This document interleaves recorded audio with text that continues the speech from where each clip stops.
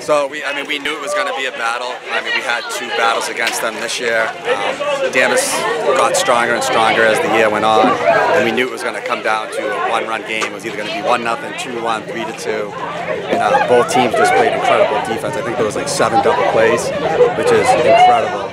Um, so I mean, both teams. It's one of those games you it stinks to see a, there be a loser because it's such a great game. I'm just glad we weren't on the other side because it was just an amazing game all around. It was a roller coaster of emotions.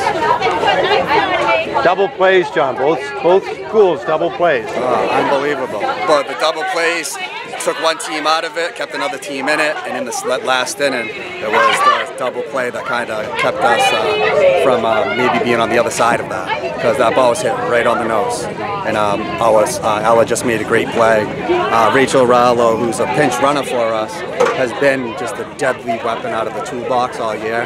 And uh, it was just a matter of the right opportunity. And she stole second and third, and she stole third without a throw. She just has incredible speed. So she, and then Sydney just did a great job, just pounding the strike zone.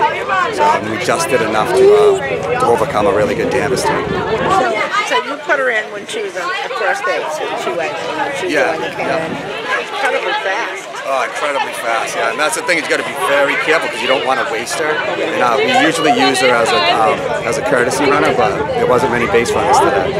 So um, so we were just waiting for the right time to use her and just make make sure we didn't waste her. Uh, because she, I don't know what the school record is on stolen bases, but she said was shattered.